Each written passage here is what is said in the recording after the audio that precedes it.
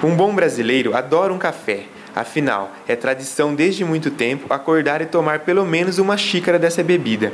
E quem resiste àquele cheiro de café fresquinho bem de manhã? É quase impossível resistir. Mas o que a substância cafeína, que é encontrada no café e em outros produtos como refrigerantes e chocolates, pode nos oferecer de bom? A nutricionista Ana Cláudia Benini nos explica. Então, a cafeína, ela é encontrada no café, no chá, nos refrigerantes à base de cola, de guaraná e principalmente nos dietéticos, né, nos chocolates.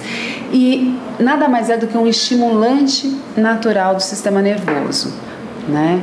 Ela aumenta os reflexos, melhora a memória, dá mais concentração. Presente na mesa dos brasileiros diariamente, essa substância é um estimulante natural do sistema nervoso.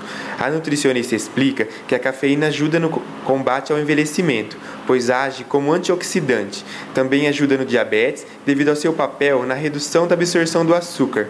Mas lembra que é importante saber dosar o seu consumo e fala também da relação coração com a cafeína. Então, com relação à dose, a infusão é recomendável na seguinte proporção: 100 gramas de pó para um litro de água, tá? E isso nos rende o que? Vamos dizer, para um adulto, essa quantidade desejável seria de 3 a 4 xícaras, não ultrapassar 400 ml, que é uma quantidade favorável.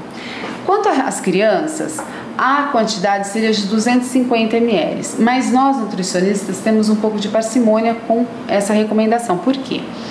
Estão em fase de crescimento e a cafeína ela atrapalha a absorção do cálcio, né, que nós encontramos no leite. Então a gente tem que usar com parcimônia, verificar muito bem a dieta dessa criança para não estar atrapalhando ao invés de ajudar. Na questão do coração, a cafeína ela vai estimular a contração e aumentar a taxa dos batimentos cardíacos. Então, com isso, nos hipertensos também a quantidade tem que ser controlada. Por quê? Aumentando essa taxa né, de batimentos cardíacos, para ele não vai fazer muito bem. Então, nunca ultrapassar três xicrinhas de café.